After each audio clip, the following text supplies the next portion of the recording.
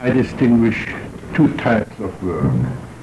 One is the weekend seminar, which is a kind of sampling, where you get acquainted with our approach, and those of you who want to work are welcome, and you see that you will learn a lot by participating.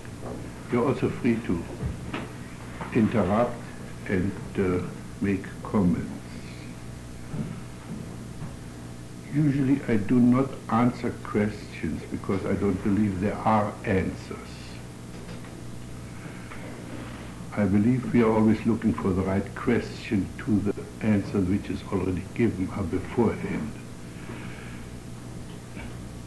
Which immediately leads us to what I believe are the two keywords in Gestalt therapy. These two keywords, if you understand them, I believe you have the whole story. The two keywords are now and how. Two three letter words.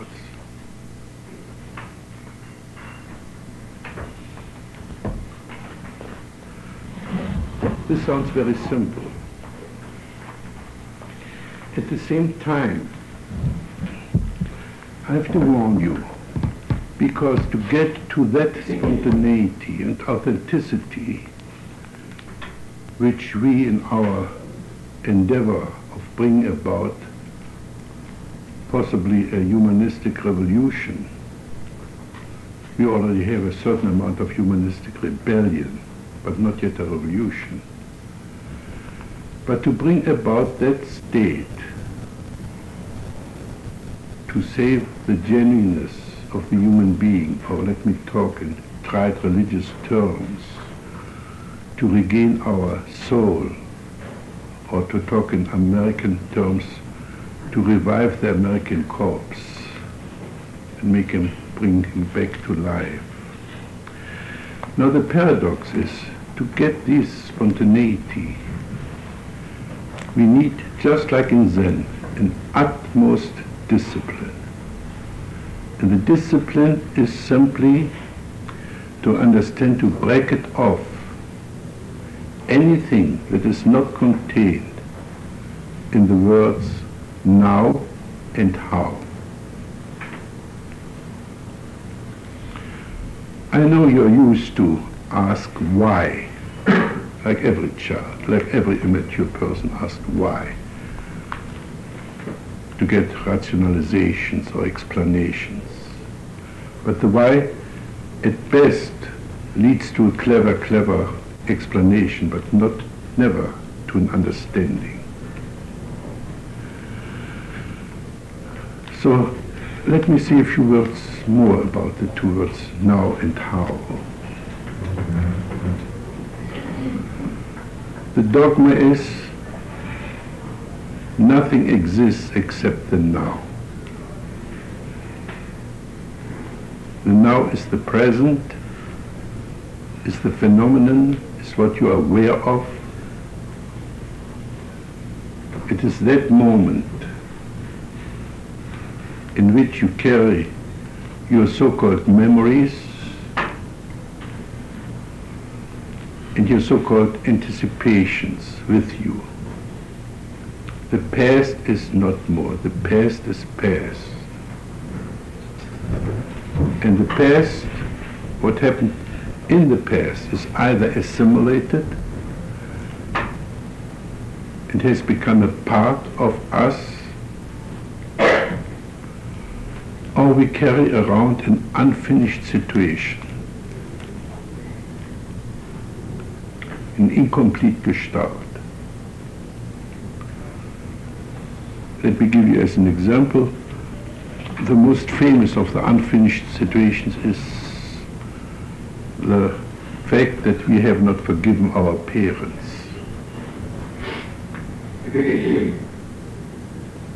Especially if we are beset with the curse of perfectionism or idealism, then we discover our parents are never right, or in marriages, the husband or the wife is never right, because they don't measure up to this impossible yardstick of the ideal.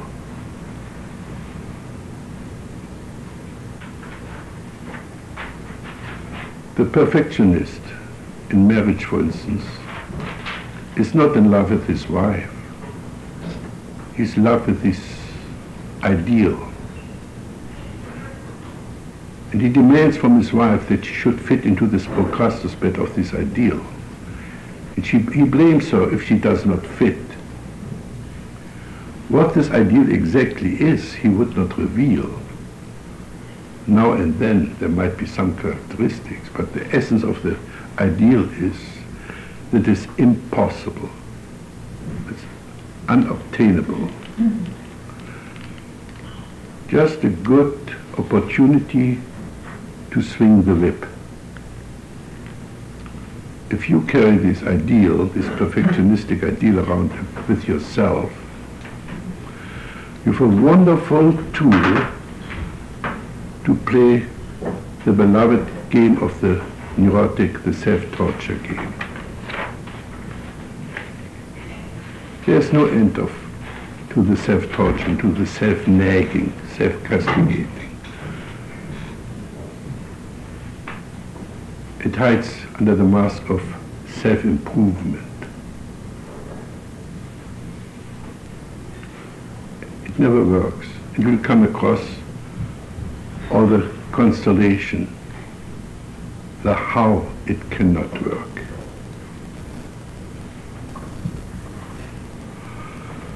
Now switching back to the now. Now I am pulling out of my drawer the memories and possibly believe that these memories are identical with our, my history. It's never true. We abstract certain experiences from the world and then file it away as memory. And if the memory then is unpleasant, especially if it's unpleasant to our self-esteem, we change it. And none of the so-called Freudian traumata has ever been proved to exist. These traumata are always falsification, or in most cases inventions.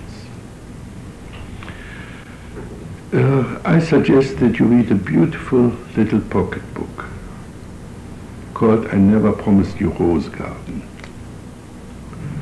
We've got such an instance about this invented memory. The whole illness is supposed to be based on this memory. No wonder that all the wild goose chase of the psychoanalyst to find out why I am now like this can never come to an end, can never prove a real opening up of the person it himself.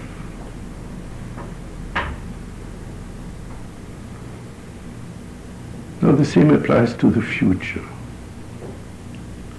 It seems incredible that we should live without goals,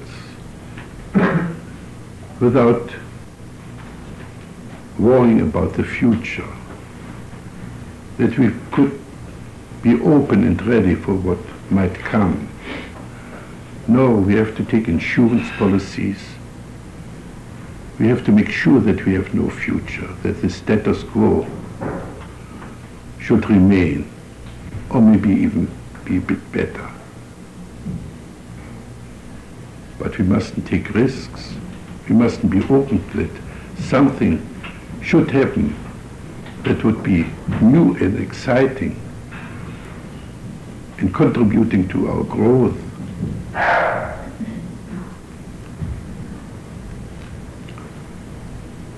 So much for the now for the time being. Now the how is all we need to understand the way we or the world functions. The how gives us perspective, orientation.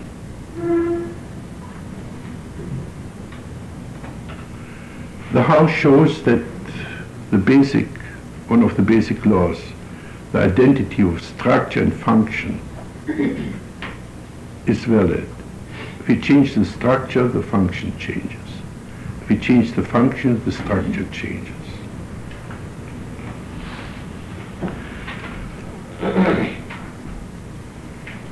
The how gives perspective. The why gives only an unending inquiry in a cause of a cause of a cause of a cause of a cause of a cause. And as Freud has already observed, every event is overdetermined, has many causes from all kinds of things.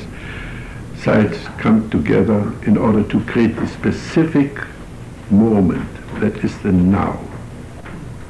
Many factors come together to create this specific unique person which is I. Nobody can at any given moment be different from what he is at this moment, including all the wishes and prayers that he should be different. We are what we are.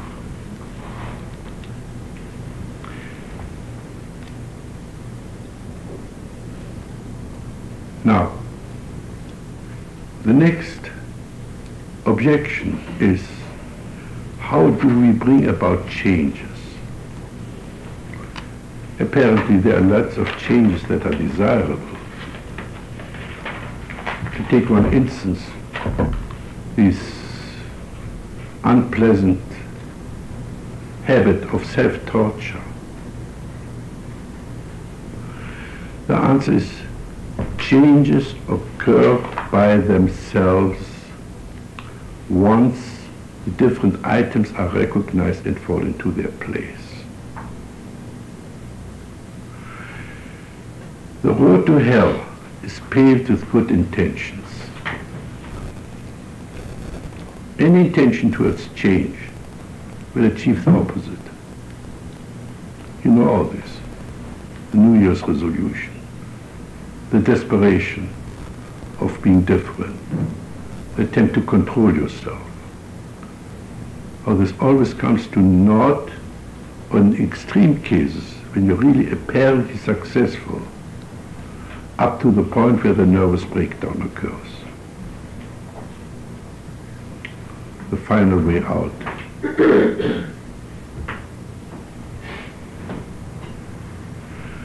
Here again, once we recognize the structure of our behavior, which in the case of self-improvement is the split between a top dog and an underdog. And we understand how by listening we bring about a reconciliation of the two fighting clowns or tragic people.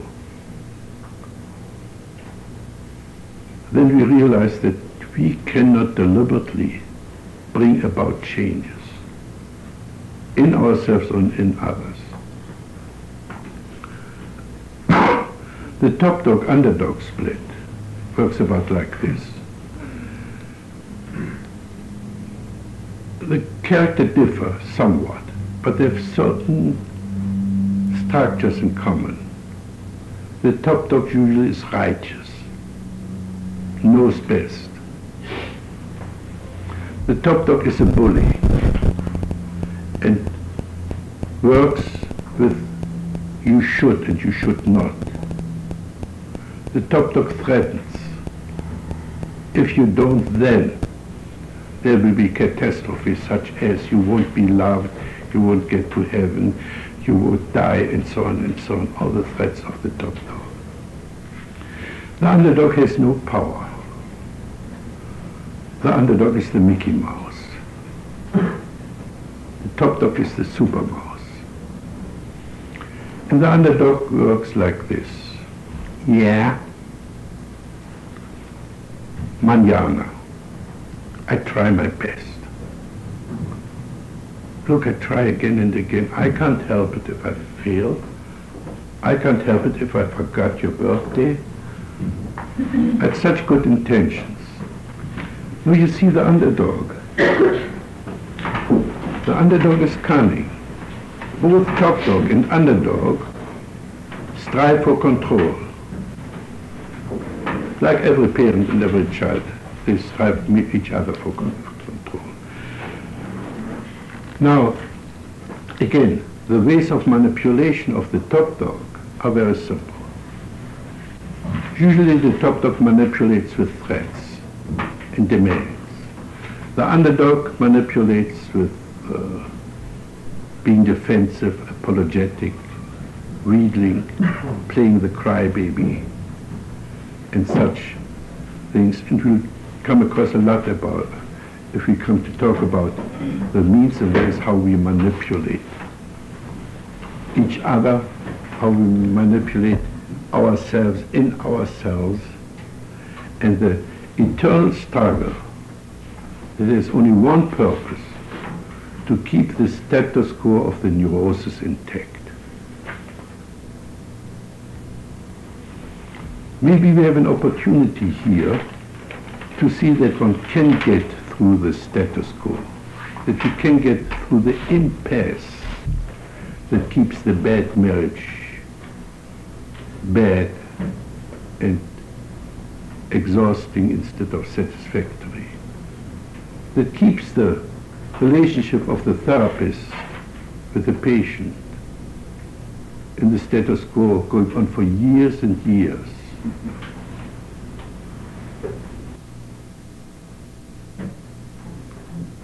Again, the condition is, and this is the key. Right now I can only hypnotize you, persuade you, make you believe that I'm right. You don't know. I'm just preaching something. You wouldn't learn from my words. Learning is discovery. There's no other means of effective learning. You can a child, tell a child a thousand times, stove is hot. Doesn't help. The child has to discover it for himself. And I hope I can assist you in learning, in discovering something about yourself. Maybe I can also assist you in learning something more about the two worlds, the now and the how. I'd like to say a few words about the two levels on which we live. The usual idea we encounter is that we see the human being as one with a dichotomy between mind and body. body and soul, or whatever dichotomy you choose. If this were true, we always all would be corpses inhabited, inhabited by a ghost. And this ghost then after death can fly away to heaven and the corpse is being burned. But in the meantime, whilst we are alive, uh, it's difficult to assume that such could be the split we see every organism starting as a unit, the germ in a plant.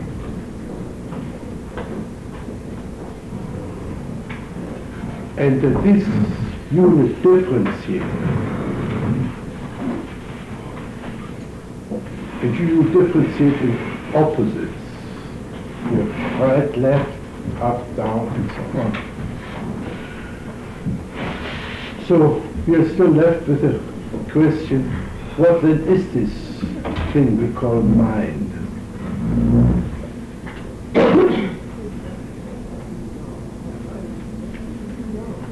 The answer was first given by Freud. You see, Freud had devoted, devoted his whole life to prove to himself and to others that sex is not bad.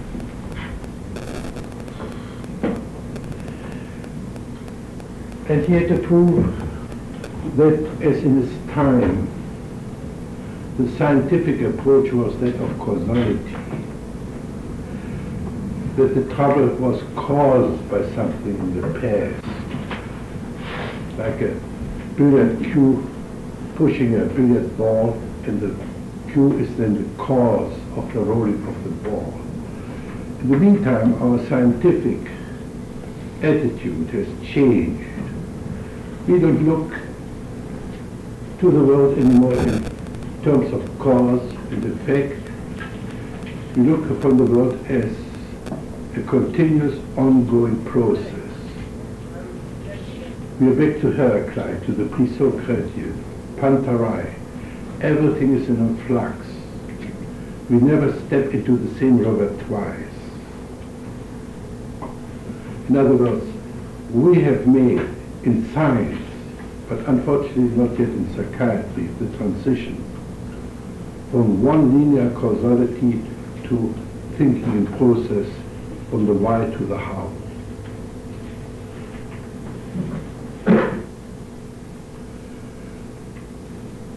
Now, Freud, when he saw the one thing, what he called Denken ist Probearbeit.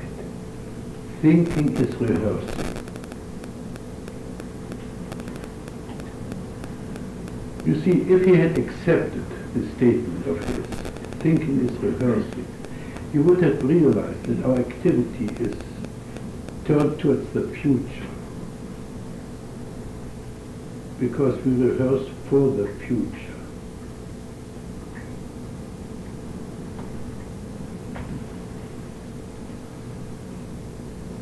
Now, this is now the situation. We live on two levels.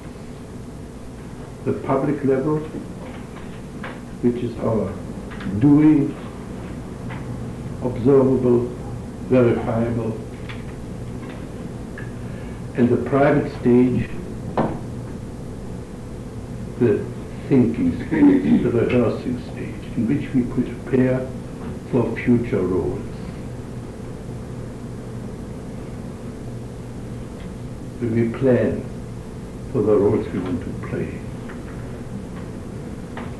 For the means whereby we have to organize in order to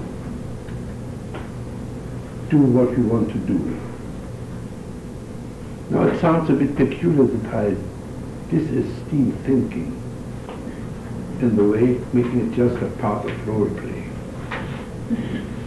However, when you look a bit deeper into your existence, our existence, my existence, you will realize that the pure biological being,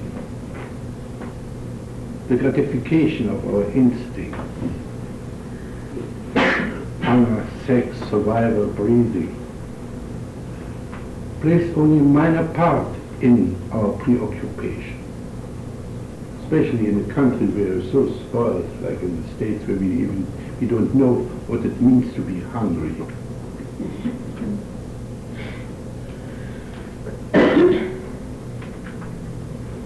where anyone who wants to have sex can have sex plentiful.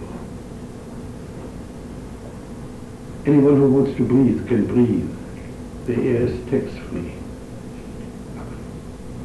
Even the smog in Los Angeles is free. For the rest, we play games.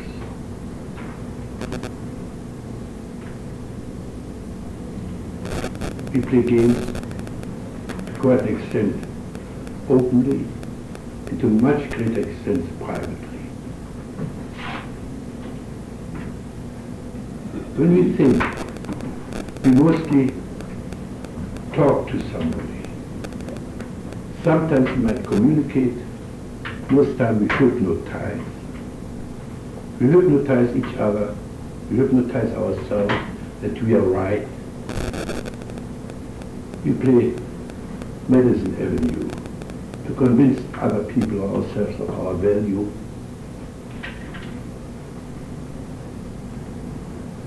And this takes up so much of our energy, again, that sometimes if you're unsure about the role you're playing, you wouldn't dare to say a word, a sentence, without having it rehearsed again and again till it fits the occasion.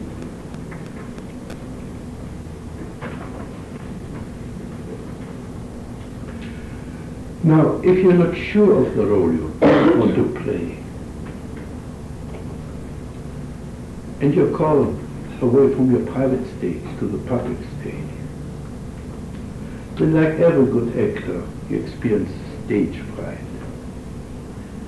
This stage fright is called anxiety. Anxiety is nothing but stage fright where your excitement is already mounting. You want to play a role. But you don't quite dare, so you hold back, restrict your breathing. But the heart pumps up more blood because the higher metabolism has to be satisfied. And then once you are on stage and play the role, the excitement flows into your performance. if not, your performance would be rigid, cold.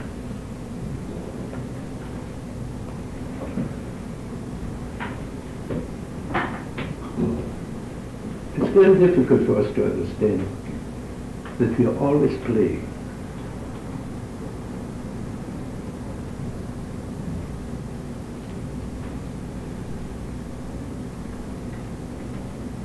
So no wonder when we try to understand the essence of a neurosis, that on the first level, we find what I call the Eric Berne's or Sigmund Freud layer, the role-playing layer. We behave as if we pretend to be better, tougher, more polite, and so then we really feel. And you see, when I spoke yesterday about manipulation, where the child has to play helpless, stupid, polite, flattering. The child, in doing so, develops the habit of using this type of manipulation. And habit is nothing but a performance of the same action that goes easier and easier. It's a grooving of one's activity that then becomes a habit, a character, a fixed role.